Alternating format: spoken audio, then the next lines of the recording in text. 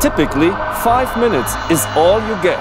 Fire, and especially smoke, spread through a building much faster than most people think. Every year, about 3.8 million fires occur worldwide.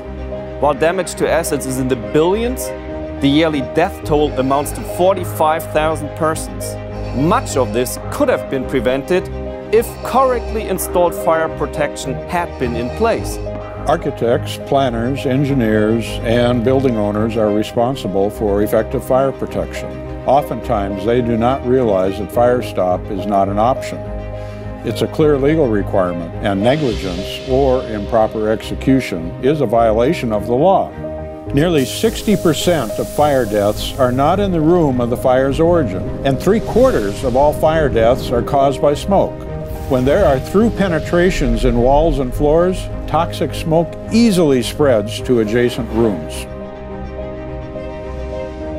The keys to effective fire protection are both active protection, such as detectors and sprinklers, but also passive protection.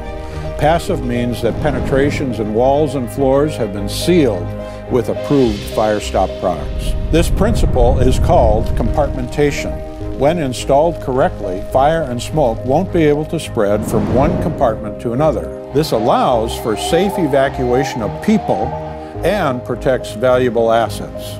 The thing about compartmentation and fire protection is it's only as good as the products you use.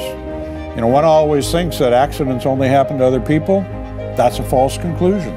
It is the responsibility of architects, planners, engineers, and building owners to protect lives and assets by effective and well-designed compartmentation. Hilti offers innovative and legally compliant, internationally approved solutions.